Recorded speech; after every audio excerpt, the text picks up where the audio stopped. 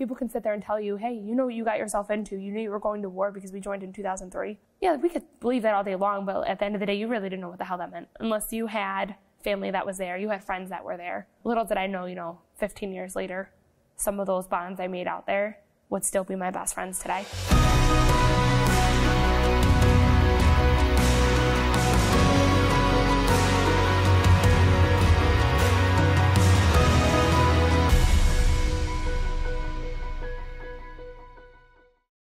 What's going on, guys? Time for another episode of Behind the Uniforms. Say hello to Kelli. Hi guys, how you doing? Give me some background. I'm a Marine Corps veteran. I spent just over 12 years, served all around the world. I'm currently employed at Soldier Solutions and Starbucks and going to school full time. Soldier Solutions and Starbucks. It's like oxymorons. That's like America and like anti-America. no, I mean I will not go into a Starbucks. Don't take that personally. oh, I won't. I don't take many things personally.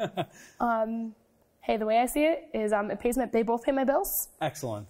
and it's got me a lot easier to um, integrate back into the community. No doubt. because that was one of the biggest things that I thought I was going to have a problem with was going from everyday hardcore mission and having a mission each day to who knows when it is up. Sure.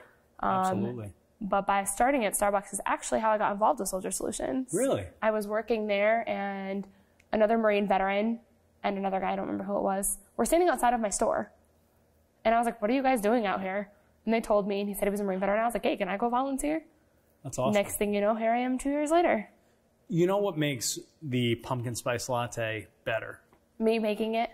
No, pouring it out and filling the cup with bourbon instead. But anyway, all right. So 12 years. Why'd you go in? Um, they told me I couldn't do it. Awesome. um, I wrestled on a high school wrestling team as one of the only females on the team. Got told a lot of negative negative things there. Um, I wanted to join the military. I figured eventually I'd pay for school, not really knowing what I'd be getting into. Uh, we hadn't, we had just, or we had not quite gone into Iraq yet um, when I enlisted. But again, not really being a big history buff, didn't even know what that would mean. Sure. uh, didn't know what joining the military really meant because nobody in my family really had those kind of stories to tell. Um, you know, people can sit there and tell you, hey, you know what you got yourself into. You knew you were going to war because we joined in 2003. Yeah, we could believe that all day long, but at the end of the day, you really didn't know what the hell that meant unless you had family that was there, you had friends that were there. Um, little did I know, you know, 15 years later, some of those bonds I made out there would still be my best friends today No doubt. um, you know, definitely very interesting. You know, we want to talk about funny stories, like you asked me earlier. I remember being in Iraq. It was my third deployment, I think. And my buddy and I decided that we wanted to stay out where the um, recreation hall was past the time the buses ran. So we thought, in our infinite wisdom, we were going to run across the flight line. Run across the flight line we did in the snow. Because, you know, oh, you're in the desert. It doesn't snow. No, it snows. It's cold and it makes it feel like you're back in New England again because that's how cold it is. Another funny story was being on the range at home, um, shooting for qualification in the snow Oh, geez. because we thought that was a good idea. Um, and a sad but kind of funny story as well is my grandmother passed away while I was serving, and I knew that she wasn't doing well, but you know what are you gonna do? You know I didn't want her to be suffering anymore. But they we were on the range when she passed away, and they called me to tell me, and I called my boss and be like, hey, you know, grandma passed away. I don't know when the funeral is. And he goes, he looks at me, or he, he goes, you can be able to shoot. I said, I'm a Marine, right? And he was like, all right. So, you know, get up, go shoot until it's time for the funeral. That was um, definitely pretty interesting. I won't say it's necessarily funny, but kind of like the ironic of mission and family kind of all at the same time. Well, my- it's, it's something that I think a lot of people don't think about, right? People who who many of us who have never served in the military don't think about what you miss out on, and it's it's the good and the bad. It's you know those times of joy and those times of pain. How do you process that when you're over? it? Um, it's the good, it's the bad all at the same time.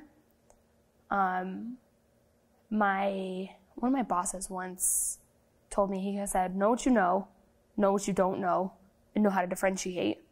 And he told me that very, very earlier in my career, and you know, 14 years later, it still sits in my head. You know, I didn't join the military thinking it was going to be easy, and easy it was not. Yeah. Um, the getting out part, everyone's like, oh, I'm going to get out and da da da. It's not that easy. Um, what I found worked for me was just getting involved Yep. um, to try to find that purpose because I once had one. And you know, you you get out and you're like, man, I can do all these things. And as much as I wasn't ready to get out necessarily, I was kind of a good time in my life. You know, I was 30 years old, still young and impressionable. Um, my came home. My sis, my baby sister was pregnant with my first nephew. Awesome.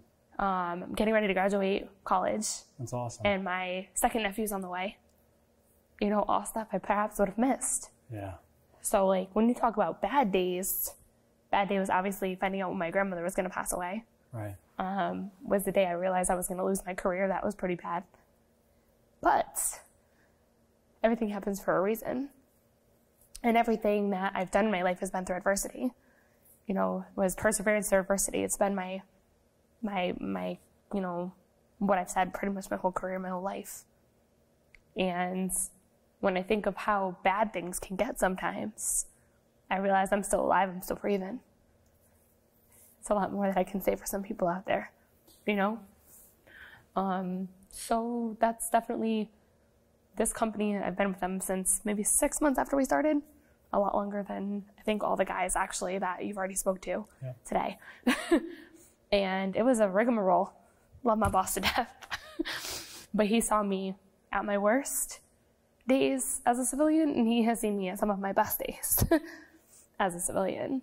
And I have to appreciate him for that because he's the kind of guy where if you're having a bad day and you take it out on him, he's probably going to be the one handing you the whiskey and be like, You need one of these? or coffee or whatever, you know, choose your poison. Yeah. To all those people who said you couldn't do it, what do you tell them now? Well, other than FU, other than that, um, I would say thank you. I'm going to say thank you because you didn't believe in me, made me strong enough to believe in myself and know that I could do it. Not to mention, I had a strong family too, and anytime I would get down on myself, they were there to tell me that I could do it no matter what the situation was. Kelli, we live in a society where the role models that are out there are the Kardashians of the world. And I look at women like you and I believe that you are the epitome of what a role model to young people, men and women, should be, I appreciate that. which is someone who says, screw what society tells me I can and can't do. I'm going to show you what I'm really made out of.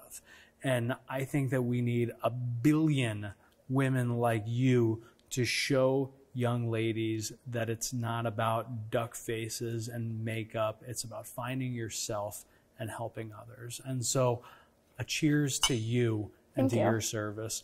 Guys, thank you for hitting the share button on this video.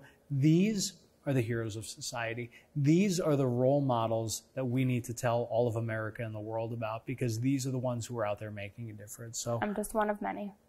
God bless you all. God bless America. Thanks.